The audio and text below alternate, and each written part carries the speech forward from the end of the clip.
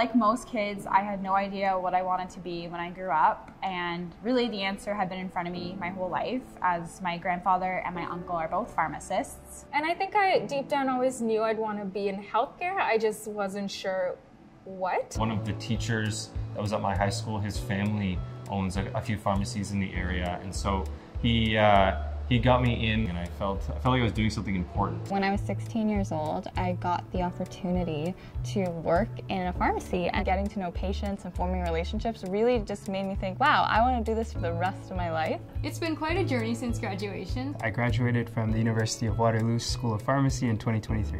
So my experience here at the University of Waterloo Pharmacy School is that it's been a very experiential place of learning. I ultimately decided to come to Waterloo because of the CAP program. It's the only one in Canada, and that really sold me on the school because I could start exploring my future career right out of high school and build those connections. CAP, Conditional Admissions to Pharmacy. It starts in high school where students can apply before university. They get conditionally accepted, and as long as they maintain their grades, then they're accepted into pharmacy in their third year. The CAP program was probably my biggest pull because it was like a really safe option. I applied and I got in, and so um, that was another step in my journey. So then I went to the University of Waterloo for two years, and then when it came time, we all applied to the School of Pharmacy, and um, as you can see from me sitting here today, um, I got in. The best thing about the program for me personally is um, just a smaller cohort and being able to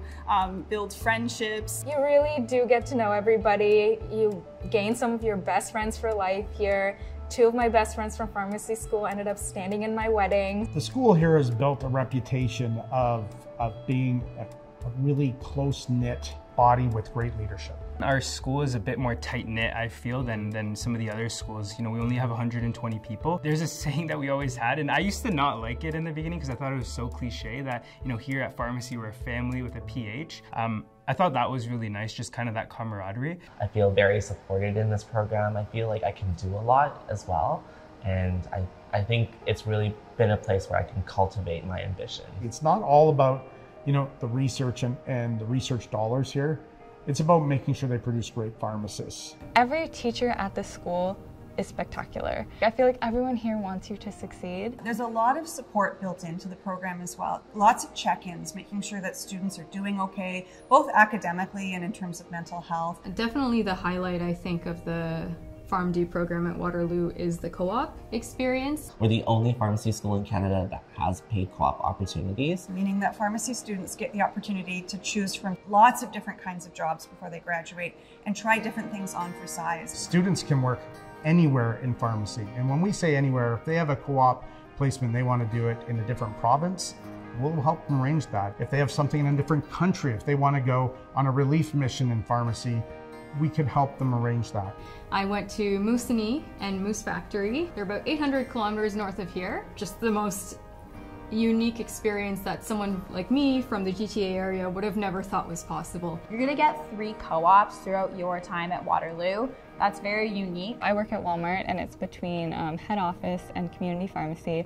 And both roles I love so dearly. Bluewater Health in Sarnia. Shoppers Drug Mart in their head office setting. Independent pharmacy in Burlington. It also prepares them for the workforce. They're really comfortable looking for jobs, interviewing for jobs, and making a lot of connections and networking. And, and so I think the co-op program is probably our biggest asset. A lot of things have changed in pharmacy in the last few years, and it's going to continue to change rapidly. And I think the forward-thinking leadership of the School of Pharmacy has looked out. What's it going to look like 10 years from now? What's it going to look like 15 years from now? A lot of interest is around AI. We're anticipating things like climate change. So we're training students a lot for these, these non-traditional ways of caring for patients, but also anticipating huge societal changes. I know that every single pharmacist that goes through this program is going to be so well equipped to take on these changes and tasks with the utmost care and respect and professionalism. I've heard this multiple times from multiple different employers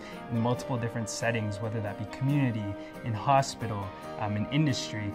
Waterloo students are by far the most complete pharmacists that they've seen. It does pay off uh, the hard work you're doing, so if you keep working hard, you'll end up in a spot that you like being in. I am so glad I came on this journey because it's been so rewarding and and I wouldn't change a thing. So I really think if someone was thinking about it, like, come here. It's, it's amazing. The atmosphere is great.